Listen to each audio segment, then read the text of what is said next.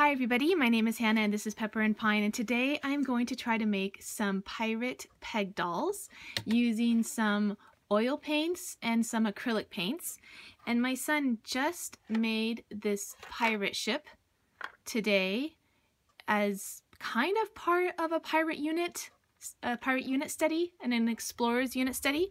So the smallest peg dolls work pretty well on the pirate ship and so he asked me if I could make him some pirates and that's what we're going to try to do now. And then in addition to that, we went ahead and tried to make a little crow's nest right up there because it did not come with one. All right, so let's see. let's see how well we do.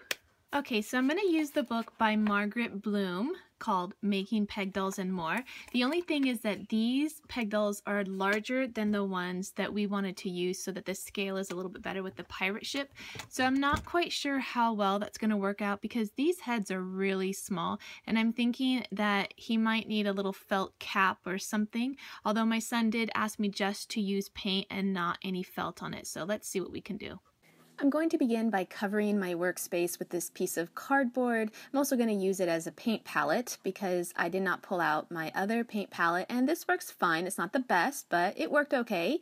And I started out with a little bit of oil paint, which is in red, and a little bit of soy paint in black. And then this, I think it's also soy paint paint in the cream, but it was a little bit dry, so I ended up changing it out for some acrylic paint. I think that one just got a little bit old.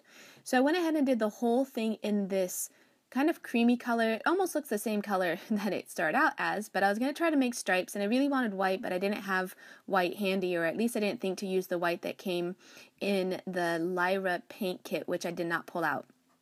Now these stripes are super hard to make. And part of the reason why it was hard was because my paint was really thick. And I'm going to thin it out in a little bit, but I'm going to go ahead and try to do at least one band in this red, which is the oil paint, over the soy paint, which I don't even think I let it dry all the way. I'm fairly impatient. so uh, I would say Take your time, let each layer dry because in the end it gets all over my fingers and kind of all over the peg doll. All right, so I'm going to try another way to get these stripes, and I use some post-it tape, and it's not super adhesive, so it's going to kind of come off. And there I'm finally thinning out my paint with a little bit of paint thinner.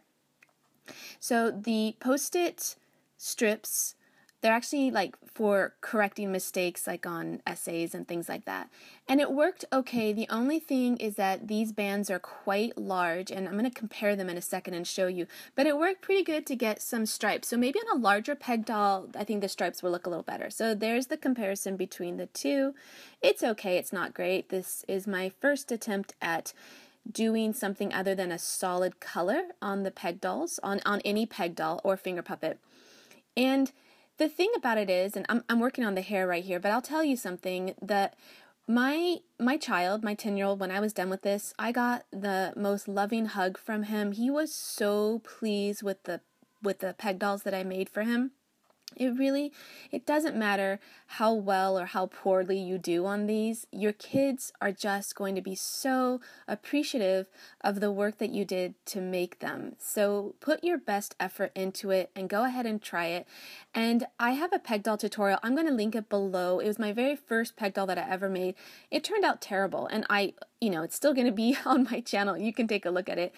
And my daughter loved it at first. And then, of course, I got a little better at it. And then she's like, you know, I don't really care for that one. She's a little more sensitive to the way the peg dolls look. But my son, he just, he was just so happy to have them. He's 10 and he still likes these. So I would say give it a go and, and try these out. So I got the hair on with, with a little bit of difficulty. And now I'm working on the face. And I went ahead and drew in one eye. And right now I'm working on the eye patch. And I'm using a Sharpie pen, which works okay, but it does bleed a little bit through the, the wood grain. And uh, a viewer had suggested that I spray these with some sealant first, which is a great idea. And I have not done that. I'm a little bit lazy. And I went ahead and gave him a beard. And you'll be able to get a closer look at that beard at the end of the video. The last thing I decided to do was put a little kind of bandana kind of cap on him. He looks kind of like a jolly pirate in my opinion, but I thought he needed a little bit more. I, I feel like the heads on these little peg dolls were a little bit too small, and so I thought bulking up the head might make it look a little bit more proportional. Maybe they're supposed to be children or something, but these pirates are arg, you know? They gotta be big, older pirates, not children pirates. Anyway, the getting the cap down was a little bit difficult because it kept gluing onto the hair and the hair kept poofing up, but I got it to stick down eventually. And then I'm just adding some black detail to the peg doll, and that's it. You can see I actually had to touch it up a little bit. You can't really see too much here, but it did, the colors did bleed onto each other because you can still see them all over my fingers. Here's the other one that I made. I don't have a tutorial for, for this one, but it's similar to the uh, the one with the stripes, except I did give him a little coat, sort of. And the last one here was the one with the bands that I used the post-it tape with. And I went ahead and gave him a little bit of a cape as well. So he wants more, and I will be having a few more tutorials on these peg dolls, and here you can see them inside his pirate ship. He absolutely loves it.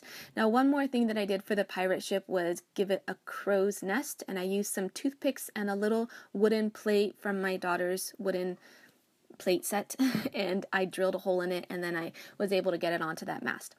All right, so if you want to see some of our other peg doll tutorials, you can tap on the screen right now. And I also have a whole pirate unit study that this was inspired by, so you can see that playlist as well. All right, thanks for watching.